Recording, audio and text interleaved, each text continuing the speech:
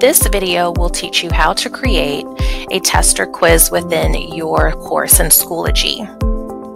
A test or quiz functions the same as a regular test or quiz. And for my secondary educators, you can think of a test or quiz in Schoology similar to Edulastic. Thinking back to our Introduction to Schoology module with the scavenger hunt and also Module 1, your course shell, you already have experience in taking a test or quiz. So today's objective in this video is to go ahead and build a test or quiz within your course. In the Module 1 course shell, your test or quiz had several different question formats.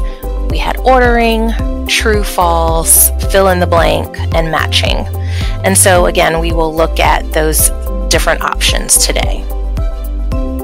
So we're going to go ahead and access our course that we created in Module 1. So from your courses or course dashboard, we are going to click on the course that you created.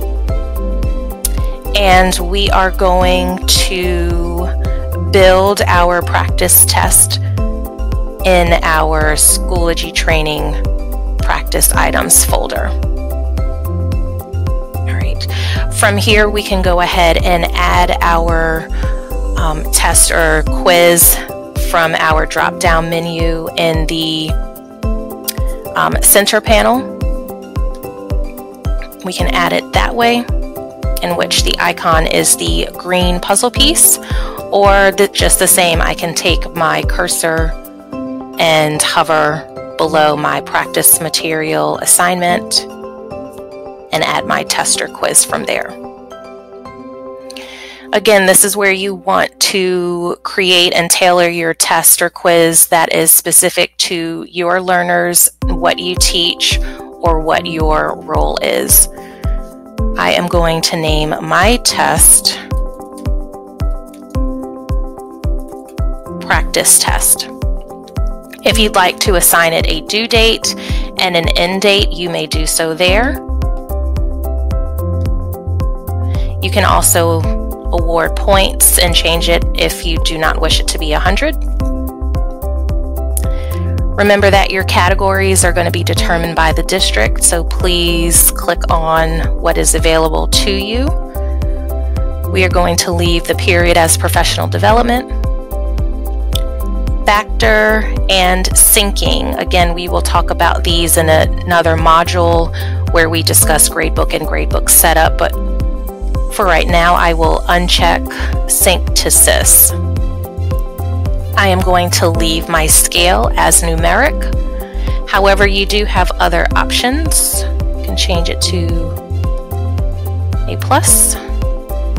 And of course, there are some options that were similar to what um, was available when we created an assignment. And I will click create. Once you click create, it will take you immediately to where you are going to begin building your test and adding the different questions. So from here, I will add a question, and this is where you will want to choose um, the different type of question format that you would like to include. So I am going to first include a true-false question. Um, you will also notice that we have a similar toolbar if it isn't the same to what we last saw when creating an assignment.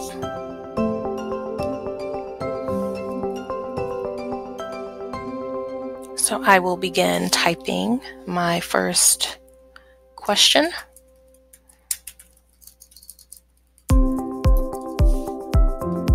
Because this is a true false question within my test, um, it automatically defaults text for true and text for false. You want to go ahead and identify what the correct answer is.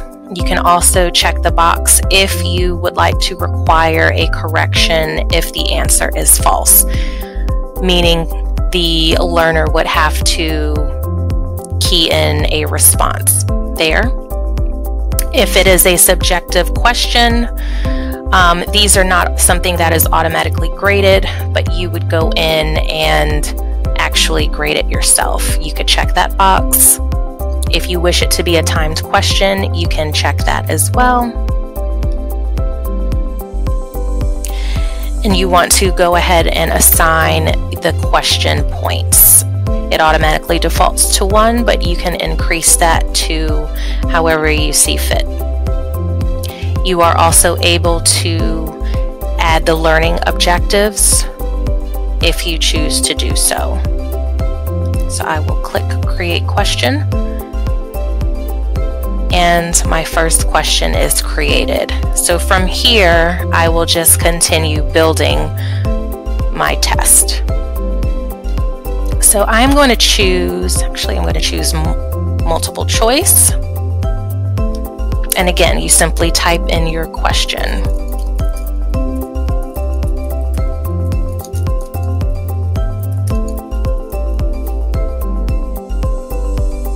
It automatically defaults to four choice responses. You can go ahead and eliminate that or increase that as you need.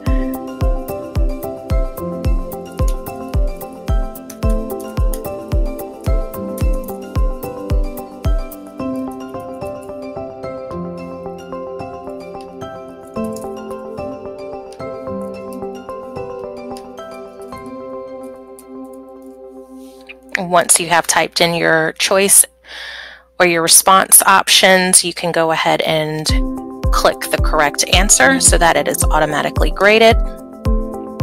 If I wanted to include more, here's where I could add, and I can also change my mind and remove any blanks. You can go ahead and check this box if you would like to randomize your choices you can allow partial credit, and again, if you would like it to be a timed question, you could do so as well. For this, I will change the point to 2 and create that question.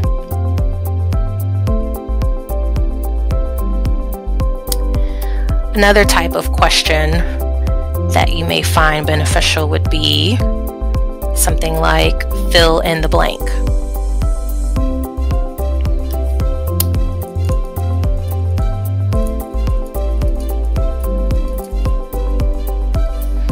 For fill in the blank, you want to use an underscore. And when you do that, um, your answer option will appear below. So I can add some various answers. Say set of tires. Someone may say wheels.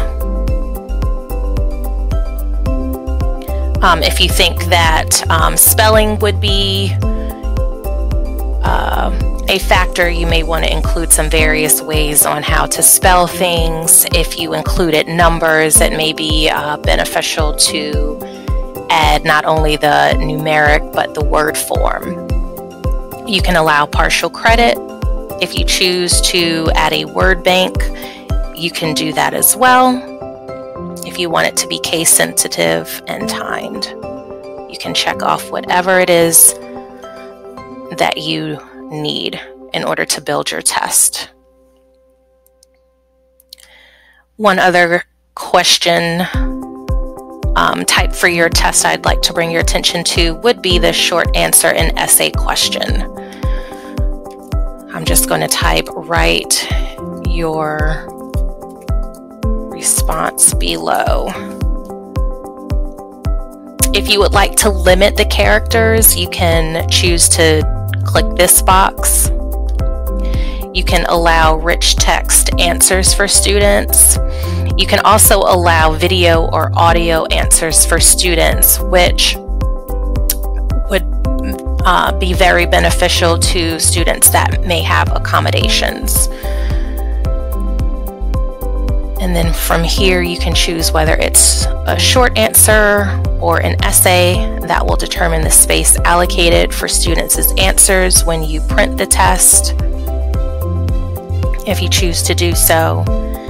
And here is where, um, for an essay type of question, you want to include a rubric and you can find those instructions in a separate video. And I will create my question. All right, from here on the settings tab, you can go ahead and include your instructions, your submissions, whether you want to, you know, give a specific timeline when you're going to enable or disable language keyboard question review. Right here under resumable, um, will you allow your students to resume an incomplete submission? That is something you would need to think about, and if so, you could, you know, check yes. View submissions if you would like to allow students to view the results of their test quiz. So if you select no, they will not. Um, yes, they will be able to see it. Um, however, they will not be able to see it with the correct answers unless you choose that option.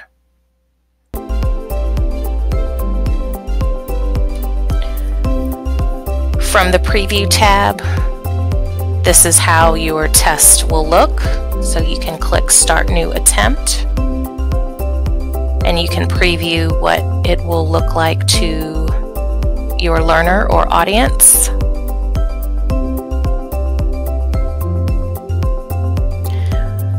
And when you start getting results, you will see them in that tab as well as comments.